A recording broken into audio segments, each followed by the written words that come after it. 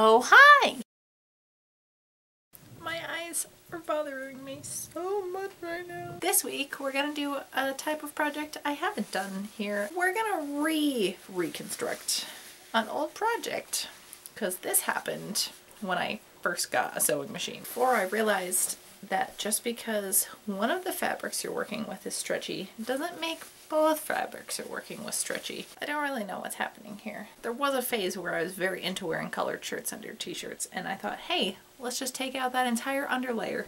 This red shirt fit fine. I just decided to attach it to make it look more cool and it just looks like shit now. And just to point out, this is one of my favorite goddamn shirt designs I've ever seen a band put out and it's a Westbound Train shirt. You should check them out because they're great. Don't have a game plan yet, but we'll wing it as if we do anything else on this channel. I'm just gonna go ahead and knock off this entire collar. I'm also gonna lop off the entire end of these sleeves. Now to help get the creative juices flowing a little bit,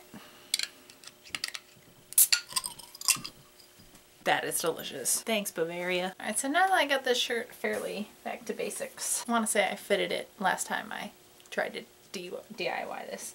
DIY this. Remix! God damn it, I'm the worst! I figured out what we can do. What I can do. Figured out what I can do with this. And if you have the same similar supplies at home, you can also do. But you're probably just watching this. You're like, yeah, that's a pretty cool idea.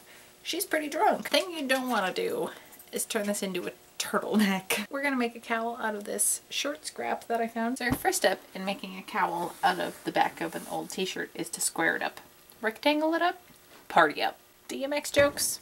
Nobody? Biggest necessity of this shape is to make sure the width of it can go over your giant fucking noggin. So we're gonna attach the two short ends together, right sides, hit it with a straight stitch. As a person who's been wearing glasses for almost 20 years, you would think that I would, you know, at some point, remember every time I change my shirt, I had to take these fucking things off my face. Why do I never remember that? you want to just fold that in half the long way. Wrong sides together. And you can open your shirt collar up a little bit for this. It depends on how wide everything is. I guess it doesn't matter which way because both of the outside should be the right side of the fabric. Pin that right sides together with the right sides of your t-shirt. Dangerously turtlenecky? I can't really tell. I feel like it's smaller than I wanted it to be. So friends, what do we do about these sleeves? Do we add some red trim? Do we hem them?